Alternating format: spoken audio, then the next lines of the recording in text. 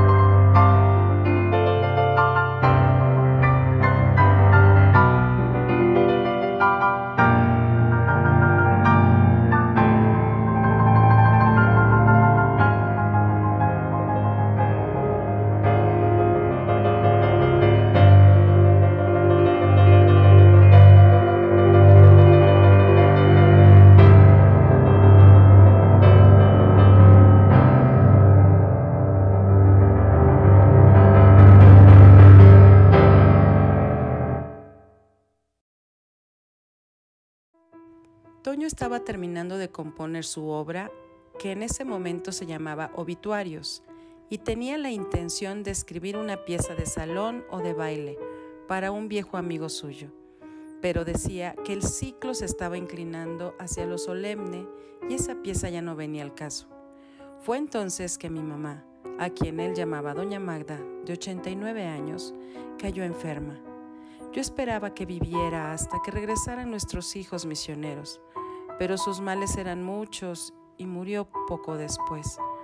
Entonces Toño escribió una pequeña pasacalia que le recordaba las bendiciones que daba a sus nietos, tratando también de contar la difícil vida de mi mamá, la pérdida de mi padre recién llegados a México y con cuatro hijos pequeños, su agonía y muerte, lo mismo que la dicha de quien ha sufrido mucho, pero descansa ya en la esperanza de la resurrección.